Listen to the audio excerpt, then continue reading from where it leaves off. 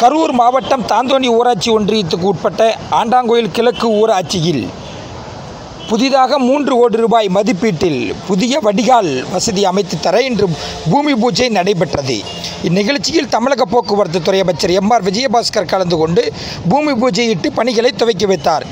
இந்நிகழ்ச்சியில் கரூர் மாவட்ட திட்ட அலுவலர் கவிதா கரூர் மாவட்ட வருவாய் அலுவலர் ராஜேந்திரன் உட்பட ஏராளமான க பொதுமக்கள் கலந்து கொண்டனர்.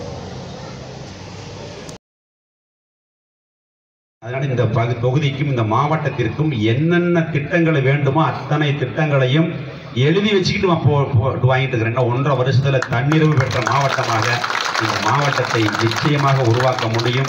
ஏன்னா இதெல்லாம் அதே மாதிரி திரு அரவக்குறிச்சி கேட்ட இரநூத்தொம்பது கோடி ரூபாய் குடிநீர் ஸ்கீம் முடிஞ்சு வேலை ஆரம்பிக்க போறோம்.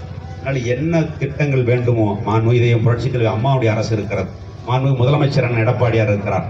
கேட்ட திட்டங்களை எல்லாம் கொடுக்கக்கூடிய முதலமைச்சர் இருக்கிறார். அந்த வகையில் நம்முடைய பகுதிக்கு இன்னும் என்ன வளர்ச்சி திட்டங்கள் வேண்டுமோ அதை பெற்றுக் கொடுப்பேன் என்ற உறுதியை சொல்லி பேசுறவங்க என்ன